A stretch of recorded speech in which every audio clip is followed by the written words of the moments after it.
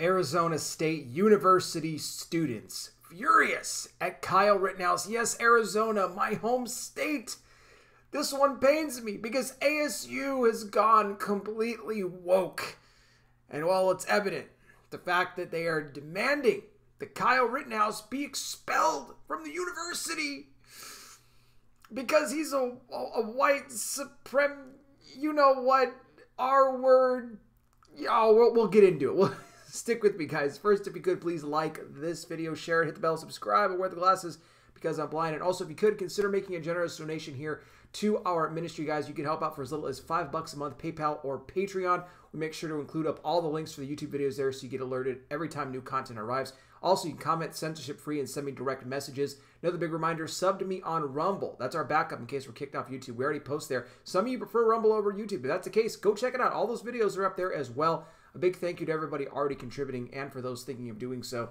Thank you as well. Your generosity greatly appreciated. So, talk about woke in action. ASU students, multiple groups on campus have protests and rallies all scheduled for this week against Kyle Rittenhouse. That he be expelled from the university in light of the not guilty verdict that has just sent shockwaves through the media and through the universities and everywhere because they did not get the verdict that they wanted. And well, we know as, you know, in the past when these, you know, cases don't go their way, well, they act like little babies and brats and they pitch fits and temper tantrums, so on and so forth. And so for Kyle Rittenhouse, now keep in mind, he is enrolled at Arizona State. However, he is only doing online classes at this time. He is not even on the campus at all.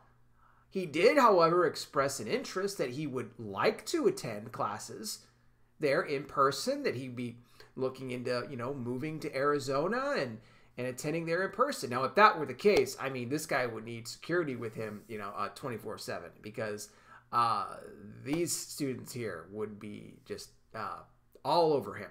Uh, not in a good way. But listen to these demands that they're saying now.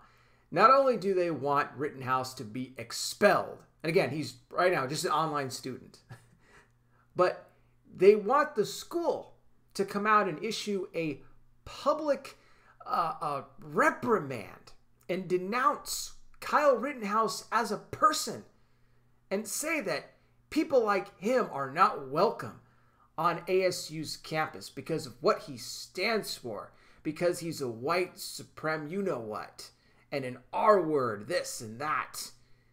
They want the school to also, and this just goes right along with the rest of their crazy agendas, they also want the campus to defund the campus police and redirect those funds towards the school's multicultural center, which was the scene a couple of months ago where uh, a couple of deranged students directed some uh, very racist language towards some white students and told them that they were not welcome there at the multicultural center.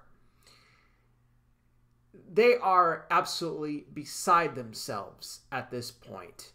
And if ASU, if, if the heads of the school there actually came out and bowed down to these demands, wow. I would advise them this you better think twice before doing something like that because right now, well, you can better believe that Rittenhouse and all of his attorneys are getting their lawsuits ready for all those in the media, even all the way up to Biden himself, for the defamatory things that was said about him, lying about him. And if ASU in any way decided to expel Rittenhouse, well, they would have a nice lawsuit on their hands as well. I don't think this is something that they are going to want to touch because we know that much like the case with Nick Sandmann, with Kyle Rittenhouse, Sandmann got a lot of money from these corporations, these news outlets, the same things that happened for Rittenhouse. So I wouldn't go that far and try to expel him because it's not going to work out so good for you. As far as these students raging and crying and, and demanding that he be expelled, you're just going to have to deal with it.